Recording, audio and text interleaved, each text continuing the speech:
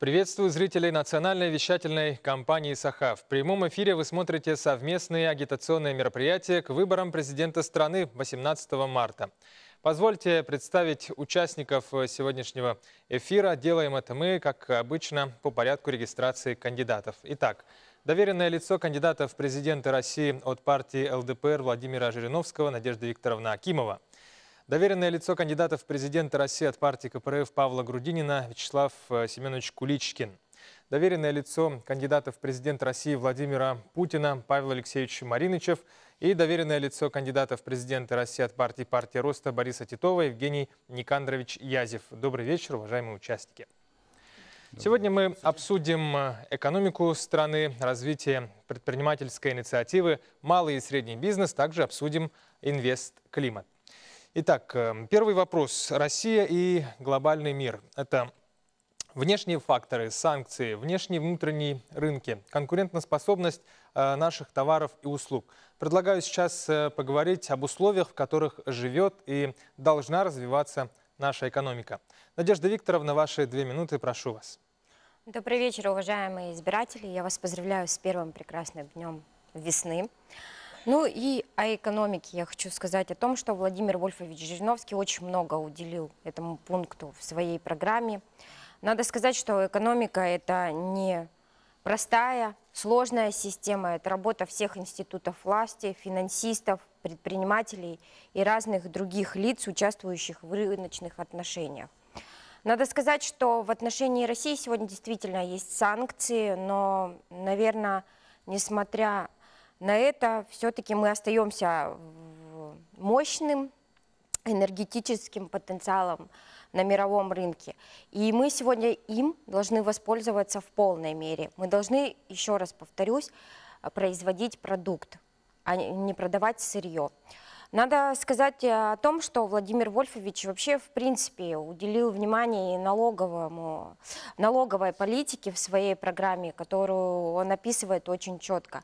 Для того, чтобы сегодня наша страна развивалась, нужно создать э, условия для среднего и малого бизнеса в том числе и для создания нового высокотехнологического а, значит, потенциала в том плане, что развивать промышленность. Надо вернуть э, ту промышленность, которая в 90-е годы разрушили коммунисты, и Ельцин ее распродал. Так что э, голосуйте за Владимира Вольфовича Жириновского. Его программа на самом деле очень обширна. С ней вы можете познакомиться на сайте ldpr.ru, также прийти на Петровского 21-2 к нам в общественную приемную. Э, мы можем приехать к вам лично. Вы можете позвонить по телефону 30219. Так что голосуйте за Владимира Вольфовича Жириновского, пусть он въедет в Кремль. Спасибо. Как должна развиваться экономика России в текущих условиях? Э, ваши две минуты, пожалуйста. Уважаемые товарищи, 18 марта состоятся очень ответственные и принципиальные выборы. Будет решаться судьба России. Как ответственная партия, Коммунистическая партия Российской Федерации и левые силы, Народно-патриотические силы России выдвинули Павла Николаевича Грудинина кандидатом президента Российской Федерации. Мы понимаем, что на, на, за две минуты невозможно высказать программу в целом, но мы понимаем о том, что в 90-х годах э, прошлого века мы ушли от плановой системы, перешли рыночной. Но нам э, последние 25 лет э, заявляли о том, что рынок все отрегулирует. Но, как показала практика, это не состоялось. В свете этого Павел Николаевич Грудинин своей задачей в планах э, программе записал, что мы проведем национализацию, национализацию стратегических важных и системообразующих отраслей народного хозяйства и минерально-сырьевой базы Российской Федерации, прибыль от доходов которых должны войти перейти в бюджет э, Российской Федерации, а не карман олигархов. Также стоит отметить, что кубышки правительства под руководством Дмитрия Анатольевича Медведева находится несколько триллионов рублей. А эти колоссальные денежные средства сейчас аккумулированы и находятся в управлении иностранных финансовых организаций. Надо вернуть эти триллионы и вложить в нашу экономику. Только в этом случае можно говорить о сильной России. Мы понимаем, только тогда можем создавать новые рабочие места для наших молодых специалистов для будущего, для развития нашей России. Поэтому 18 марта еще раз вас приглашаем прийти в избирательный участок и проголосовать за Павла Николаевича Грудинина. Спасибо. Павел Алексеевич, ваши две минуты. Как должна развиваться экономика России в текущих условиях? Здравствуйте, добрый вечер, уважаемые телезрители, уважаемые участники дебатов. Давайте вспомним факты. Я всегда люблю факты. Что сделал наш президент Владимир Путин, когда э, пришел к руководству страной? Владимир Владимирович Путин э, сделал нашу страну финансово независимой. Россия под руководством Путина э, расплатилась по долгам, расплатилась по долгам в том числе Советского Союза, в том числе тех республик, которые сейчас являются отдельными государствами. Наши золотовалютные резервы выросли в 50 раз. Мы резко нарастили наши международные резервы. Это все, конечно, создает стабильность. Таким образом, стабильность, созданная Путиным, это основа для повышения конкурентоспособности нашей экономики. Давайте посмотрим на а, факты дальше. Мы шестая экономика в мире. Мы были и остаемся ведущим экономическим государством. И ни при каких обстоятельствах мы не можем быть изолированы э, от глобальной экономики. А санкции? Что санкции? Это 26 стран, аффилированных США. А у нас только с более чем 100 странами действует безвизовый режим.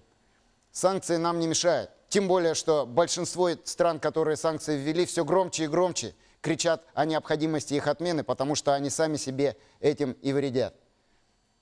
Наш путь – это повышение конкурентоспособности через развитие стабильной экономики. Запад и Восток должен наконец-то понять, что это не мы между ними, а они, одни справа, а вторые слева от нас. Понять это можно только под, э, и дать это понять под руководством сильного президента. Голосуйте за сильного президента Владимира Владимировича Путина. Спасибо. Евгений Никандрович, как вы видите путь э, развития экономики в нынешних условиях? Добрый вечер. Я надеялся, что мне зададут тот риторический вопрос, который я слышу последние несколько дней. А что Титов? Так вот, я могу сказать, что Титов исходит из текущей ситуации, которую он совершенно объективно оценивает. Это человек, состоявшийся предприниматель, правозащитник, человек, связанный с мировой экономикой. И он прекрасно понимает, что наши фундаментальные отрасли, связанные с энергетикой и с поставками ресурсов, в принципе работают, работают устойчиво, но вопрос стоит в том, эффективно ли они работают. И во многом эффективность зависит от того, будем ли мы развивать вот то, что обеспечивает стабильную работу этих отраслей, то есть малый и средний бизнес. Очень много навешено затрат на наш государственный бюджет, который с трудом выполняет свои функции, потому что мы все-таки социальное государство. И поэтому программа стратегии роста, которую Титов э, Борис Юрьевич разрабатывал совместно с 800, я не оговорился, это 800 специалистов, представляющих правительственные учреждения и организации, научно-исследовательские и отдельных экспертов, сошлись в определенном мнении, сформировав эту программу. Мы должны с вами думать о том, чтобы жить и здравствовать в условиях санкционных ограничений, которые по нам выводят и вводят непрерывно, нам пришлось бы Э, использовать именно негосударственный бизнес. Негосударственный, который не подвержен этим влияниям, который не зависит. Мы должны привлечь туда соответственные ресурсы, и как бы определяет программа стратегии роста, мы должны прекратить формировать вот эти сумасшедшие совершенно резервы, которые нам не приносят ничего, кроме вот так называемой стабильности. Нам нужна не стабильность, нам нужно развитие. Спасибо. Второй вопрос, уважаемые участники, звучит следующим образом. Малый и средний бизнес – это основа экономики любого государства. Но работает ли это правило у нас в России и как развивать предпринимательскую инициативу? Надежда Викторовна, две минуты ваши. Уважаемые избиратели, действительно, главным экономическим двигателем многих развитых стран является малый и средний бизнес. Они фактически являются работодателями. Занятость населения может сегодня только предложить малый и средний бизнес. Но давайте посмотрим реалии, каковы сегодня. Надо сказать, что бюрократическая машина и разные препоны – это единственный способ развития нашего малого и среднего бизнеса. А, Надо сказать, что те предприниматели, которые стараются, особенно у нас э, в- на севере, да, в условиях крайнего севера, развивать и что-то производить, условий сегодня они от государства абсолютно не видят. Да, сегодня пересчитали электроэнергию, но давайте посмотрим реалии. Хлеб как стоил в Чекурдахе 100 рублей, так и стоит. В чем причина? А причина в том, заключается в том, то, что этому предпринимателю приходится заплатить Роспотребнадзору, да, производственный контроль, бешеных денег это стоит, оплатить аренду, оплатить сегодня заработную плату, и в чистом виде у него не остается абсолютно ничего. Поэтому сегодня нет у нас поддержки э, производственникам, нет э, поддержки малому и среднему бизнесу. Мы сегодня придумали очень замечательный вывод денег через аутсорсинг. Сегодня бюджетные организации активно этим пользуются. Сами руководители бюджетных организаций организуют за счет других лиц э, бизнес и при этом выводят деньги бюджетные за счет аутсорсинга. Сегодня давайте поговорим о том, что нет у нас социального бизнеса, социального направленного, который бы мог повысить ответственность предпринимателя. Поэтому Владимир Вольфович в своей программе описал, как он будет поднимать малый и средний бизнес, как его сегодня защитить. Голосуйте за Жириновского. Спасибо. Вячеслав Семенович, малый и средний бизнес является ли э, опорой экономики России? Как развивать э, предпринимательскую инициативу? Пожалуйста. Уважаемые товарищи, Россия на данный момент эти последние 20 лет живет от выборов до выборов. Каждый, как начинается выборная кампания, так сразу у нас появляется такое понятие, как нефтяная игла, от которой надо уходить. Такое понятие, как сырьевая экономика, от которой тоже надо уходить. И каждый год, каждые выборы, последние 20 лет мы от, от них уходим, но на данный момент так и не ушли. Потом, товарищи, когда говорим э, за малый бизнес, надо понимать налоговую систему. Но наша налоговая система такая, что и налоговая система такая, потом, по- что каждый предприниматель, индивидуальный предприниматель, который с ним сталкивается, понимает, что ни- ни- никак невозможно тут э, идти и зарабатывать деньги, создавать рабочие места. Нет такого э, условия. Потом э, мы должны понимать еще такое понятие, как тарифная политика. Тарифная политика на данный момент в частном порядке она формируется. Государство как, как, как таково его не может контролировать. И поэтому, исходя из этого, цены поднимают. Нам э, объявили о том, что зарплату подняли бюджетникам. Но тоже э, инфляция их съедает. И, соответственно, человек, который получил повышенную зарплату, как будто бы, на самом деле э, ничего не остается. Потом, товарищи, надо понимать, что санкции, которые сейчас нас окутали, в России они всегда были и будут. Потому что на данный момент тоже холеной Европе и э, Соединенных Штатов Америки невыгодна сильно Россия. А Павел Николаевич Грудинин говорит, если мы, он обозначил и ск- сказал, что если мы внутреннюю свою политику усилим, производство поддержим, никакая санкция ни европейская, ни американская нам не будет страшна. Поэтому, товарищи, вас призываю голосовать за Павла Николаевича Грудина, за стабильность, за развитие. Спасибо. Павел Алексеевич, э, является ли э, опорой экономики России малый и средний бизнес и как развивать предпринимательскую инициативу? Две минуты ваши. Да, хотел бы снова э, вернуться к фактам. Давайте посмотрим правде в глаза и э, скажем о том, что наши базовые отрасли еще долго и продолжительное время будут основой нашей экономики. Э, но это и наши конкурентные преимущества, данные самой природой.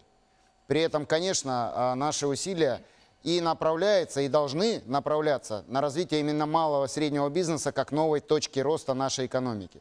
Владимир Владимирович Путин, наш президент, сам об этом говорит. Э, Он говорил о том, что у нас это значительно меньше, чем за рубежом, к сожалению, но мы ставим перед собой задачу довести уровень малого и среднего бизнеса в России до 40% к 2030 году. Это абсолютно реальные цифры, то, на что мы должны ориентироваться. Каким образом это сделать? Я уверен, что на примере Якутии это должен быть сервис крупных инвестиционных проектов, которые у нас реализуются. То есть наш малый и средний бизнес должен работать на крупный бизнес и таким образом в среднесрочной перспективе э, расти. Но государство при этом, конечно, должно э, создавать соответствующие условия. Это и продолжение снижения административных барьеров, которое реально происходит. Мы разобрались с плановыми проверками, теперь надо с неплановыми разобраться. Это продолжение снижения процентных ставок по привлекаемым финансовым ресурсам. Это широкий спектр других мероприятий, который определен э, нашим государством и э, курируется ОСИ. Вот наш путь. На самом деле, на самом деле, малый и средний бизнес – это, конечно, то, э, что нас будет двигать и развивать дальше. Рост в этом отношении существует. На 60% увеличилось количество малого, субъектов малого и среднего бизнеса с 2005 года. Но дальше надо двигаться дальше. И Путин об этом говорит, он об этом говорит честно, открыто. Спасибо. Евгений Никандрович, малый и средний бизнес как основа экономики страны. Насколько это работает и как развивать предпринимательскую инициативу? Две минуты. Институт экономики роста имени Петра Аркадьевича Столыпина и его деятельность, видимо, уже сказываются на текущей политике действующей власти. Во всяком случае, наконец, мы осознали, что не нужно формировать излишние резервы, а нужно формировать прежде всего ту сферу, которая принесет нам, даст нам и занятость, существенные доходы населению, соответствующий рост потребления и то, что обеспечит дальнейший так сказать, прогресс в нашей экономике. Я хотел бы обратить еще внимание на то, что часто очень в регионах мы обходим этот вопрос или наоборот на него, так сказать, не обращаем внимания, а в некоторых случаях мы его даже убиваем. Вот эта централизация, которая раньше у нас процветала и которая считалась почему-то грамотным подходом, она привела к тому, что мы, например, торговлю алмазами перенесли в Находку, переработку якутских бриллиантов перенесли в Смоленск, почему-то Кострома стала центром ювелирного производства, Московский ювелирный завод, один из крупнейших поставщиков ювелирных изделий, перевел свое производство в Пермь, но почему не в Якутию? Значит, где-то в этом виноваты и наши власти. Стратегия роста прежде всего подразумевает за собой – привлечение дополнительных ресурсов, которые мы сегодня аккумулируем в тех резервах, которые на сегодняшний день не используются. Мы должны вернуться к тому, чтобы создавать здесь базовые отрасли, такие как торговая площадка алмазами, которая повлечет сюда присутствие, соответственно, крупных, крупнейших банков мирового уровня, которые за собой повлекут сюда соответствующие финансовые ресурсы. И мы получим самостоятельную финансовую систему, которая даст республике очень много. Поэтому стратегия роста Бориса Юрьевича Титова, основанная на, на, именно на привлечении к активной деятельности народа, населения, это является основой нашего дальнейшего благополучия. Спасибо.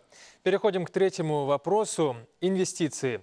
В России отмечается их рост, но как сделать этот, этот рост инвестиций постоянным и растущим? Мнение ваших кандидатов.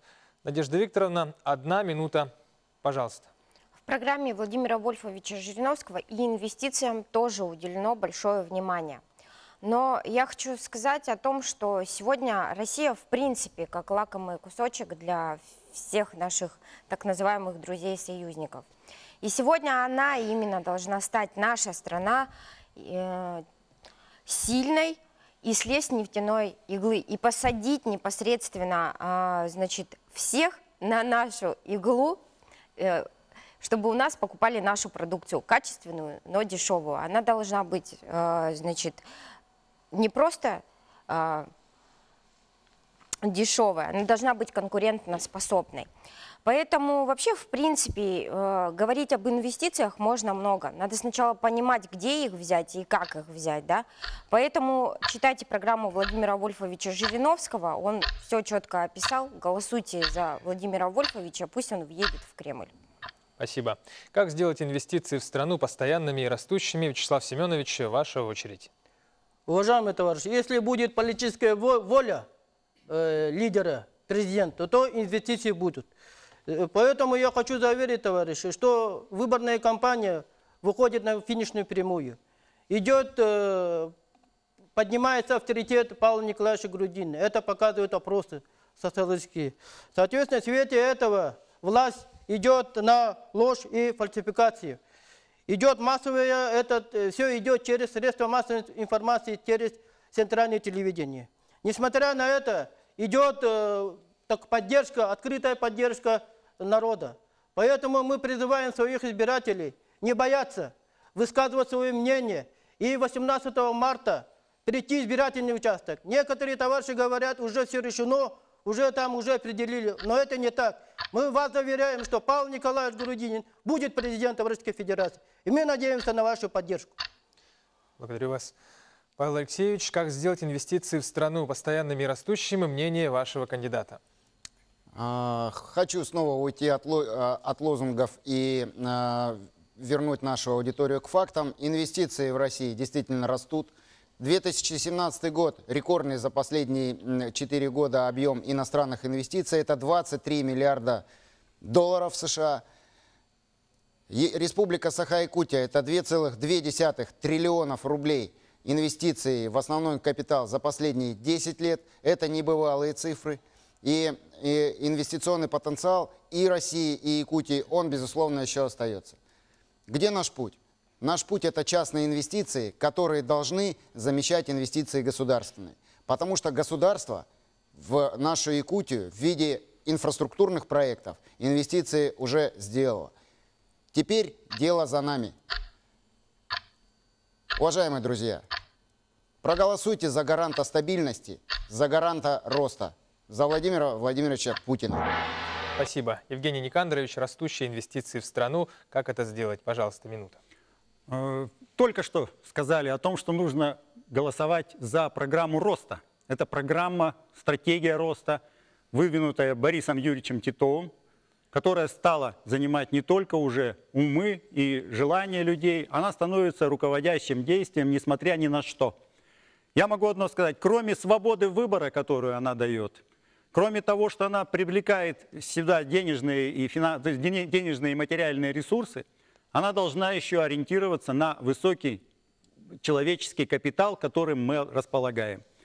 На сегодняшний день, к сожалению, часть кадров, которые занимаются инвестиционным привлечением в Россию и на территории республики, они явно не соответствуют тому уровню, который они должны обеспечивать.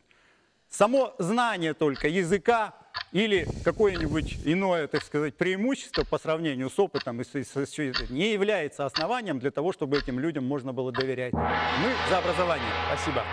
Я вам напомню, уважаемые телезрители, что сегодня участвовали от кандидата Владимира Жириновского Надежда Акимова, от кандидата Павла Грудинина Вячеслав Куличкин, от кандидата Владимира Путина Павел Маринычев и от кандидата Бориса Титова Евгений Язев. Спасибо всем за участие. Смотрите совместное агитационное мероприятие каждый день в 18.25 по будням. До встречи.